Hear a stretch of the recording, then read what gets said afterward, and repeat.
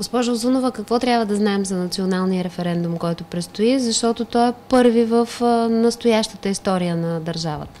Да, наистина предстои да бъде проведен и организиран първия в модерната история на България референдум, т.е. прякото допитване до народа как следва да действа правителството.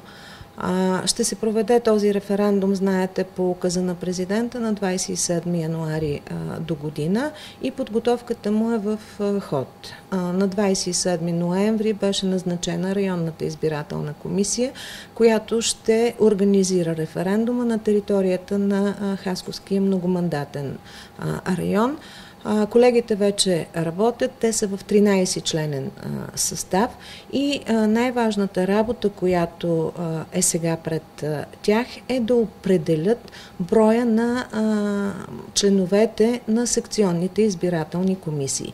Над 450 са секционните избирателни комисии, които ще работят на територията на Хасковски многомандатен район и по решение на ЦИК риковете са тези, които които на базата а, гласоподаватели в една секция а, следва да кажат 3, 5 или 7 членен ще е а, този орган, който непосредствено присъства при а, гласуването на всеки един от а, хората. Знаете вече и в национален мащаб, че бяха внесени в Централна избирателна комисия а, документите на инициативен комитет, който ще защитава альтернативно мнение. Разбирам, альтернативното мнение е отрицателно а, такова и а, по този начин вече имаме участие на един субект, който е предвиден в а, Закона за пряко допитване до а, народа, който ще бъде представен и в медиите с а, своята позиция. Чисто технически, а, поне към настоящия момент, моята информация е, че ще се гласува само с а,